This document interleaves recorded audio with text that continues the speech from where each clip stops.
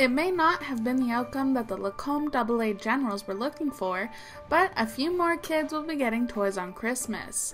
The Lacombe Generals fell to the Westlock Warriors 5 4 on Saturday, December 4th. In the third period, the team came back for vengeance, but it was just a little too late. Shots on net were 36 to 26 for the Lacombe Generals. So far, the team has seen a pretty positive season and continue to remain first in the North Central Hockey League standings.